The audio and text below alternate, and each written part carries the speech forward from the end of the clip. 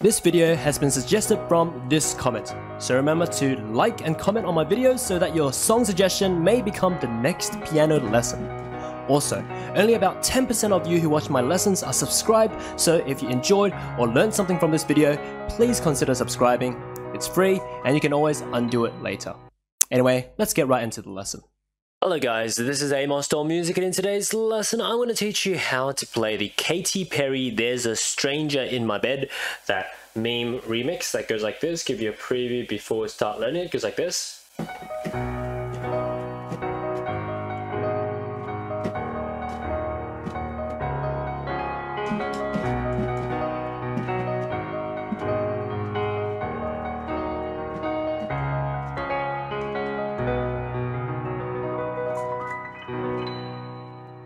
Let's learn this section right now. So right hand, we have this repeating motive.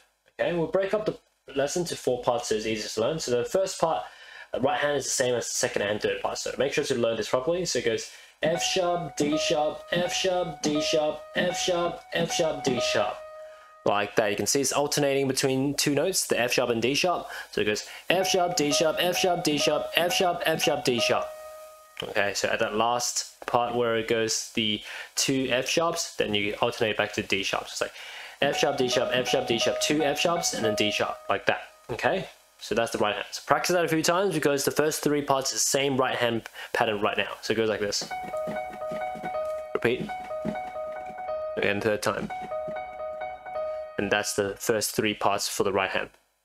Now, let's learn the, I guess, the first part, second part, and third part respectively, the three chords that correspond to each part.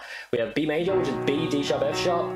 Second chord, G sharp minor, which is G sharp, B, D sharp. And third chord for the third part, which is D sharp minor, which is D sharp, F sharp, A sharp, which is a fully black note chord. Okay, so with these three chords in mind, so B major, G sharp minor, and D sharp minor, the two ends together goes like this. So right hand starts, the third note together, same concept for the next one. Together. Same for the next one. Together. Like that. That's it for the first three parts. Let's do it once again. So it goes.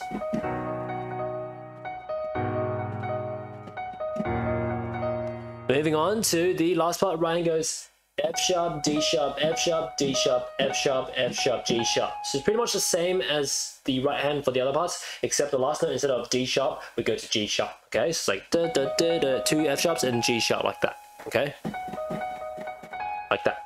All right. Now the left hand we have a different chord. We have C sharp major, which is C sharp, F, G sharp. Okay, with that chord in mind, turn together goes like this. The same concept. It's just the third note you play with the left hand chord together, like this, together, like that.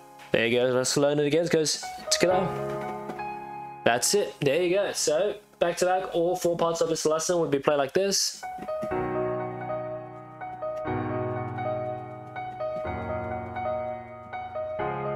Repeat.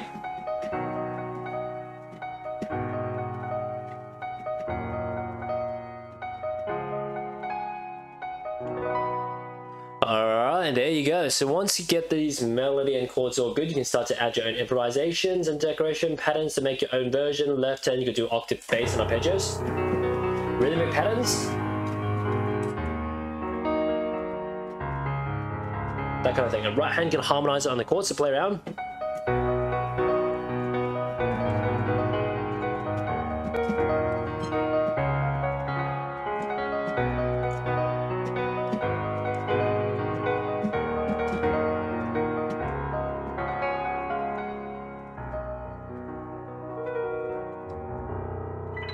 Yeah, awesome stuff. Play around and have fun, okay? So yeah, there you go. Hope you enjoyed this. If you want to learn other Katy Perry songs, just search up the song name followed by Doll to find it on my channel. As for now, that's pretty much it. If you like how I teach in this video, how I break everything up step by step, part by part, you will most likely find another song that you'd like to learn by typing in your favorite song name followed by Amosdoll in the search bar because I have over 10,000 piano videos on YouTube. If you want to go further beyond into learning music theory, playing by ear and improvisation, you can learn from my piano courses on my website bestpianomethod.com linked in my description and bio. There, you will also find my song request services where you can request any song of your choice for me to make into a cover, a lesson, or sheet music. As for now, enjoy the rest of my content on YouTube, TikTok, Instagram, and Facebook, and see you all next time.